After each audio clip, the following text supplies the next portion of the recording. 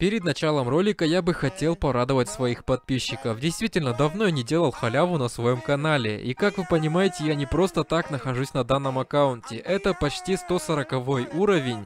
Но и это будет конкурс на данный аккаунт. Это не какой-то там вам ТХ-7, ТХ-8. Это ТХ-10 уже с неплохой прокачкой на халяву. Просто нужно выполнить все условия, которые будут сказаны чуть позже. Ну а тут по прокачке, как вы видите, все довольно-таки шикарно. И он на халяву.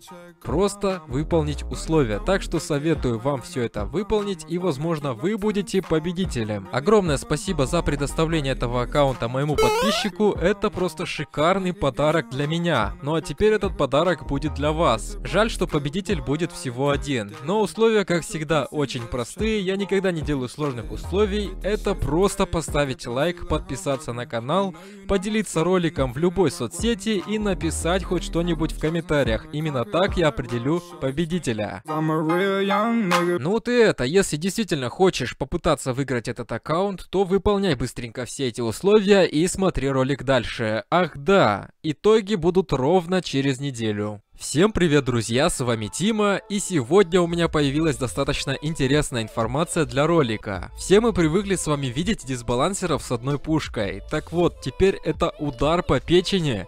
Хотя нет, стойте, по-другому скажем. Теперь это удар по дисбалансерам. Вы просто вдумайтесь. Дисбалансер вообще без пушки. Я нашел целых три таких личности. Первые два будут, конечно, не очень прокачанные, скажем, вообще не прокачаны, но они тоже странные. Ну а третья личность, он и прокачан, и странен. Поэтому давайте вставим теги и посмотрим, что это за игроки. Первый тег пошел и видим то, что у него вообще не развита деревня, аккаунт, так скажем, нету даже варваров.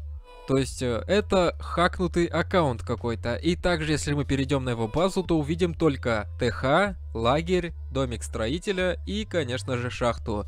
Ну а вот пушки, к сожалению, у него нету. Все теги будут в описании, поэтому можете сами перейти и посмотреть, убедиться, так скажем, что действительно это игроки без пушек. Следующий аккаунт почти такой же, только меняется ник. Вставляем тег и смотрим, что у него меняется на базе. По профилю та же самая история, аккаунт не развит и также варваров тоже у него нету. То есть мы понимаем, что этот аккаунт тоже хакнутый и видим то, что у него строение те же самые, что и у прошлого игрока, только расстановка другая.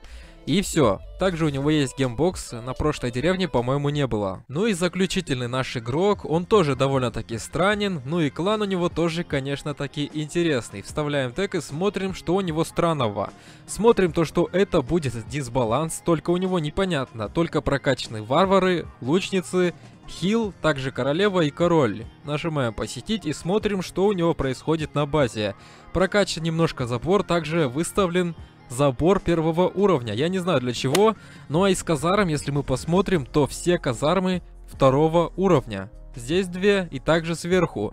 И дальше он их не прокачивает. У него куча ресурсов, королева 13 но вот войска дальше он не прокачивает и казармы не прокачивает. Действительно странный. Ну а наличие пушки тут, конечно же, тоже отсутствует. Тег будет тоже в описании, если хотите, можете каждый уголок вот так просмотреть. Действительно, тут пушки нету. Ну а что касается его клана, основная странность заключается в том, то, что серия побед в КВ 304 это примерно 2 года непрерывной игры без проигрышей. Ну а также необходимо трофеев для вступления 666. Ничего необычного, согласитесь. Нужно всего 666 трофеев для вступления, также серия побед в КВ 304. У каждого клана то же самое. Ничего необычного. В скобочках нет. Но на сегодня все. Ставим лайк, подписываемся на канал, пишем что-нибудь в комментарии, участвуем в конкурсе. Всем удачи, всем пока.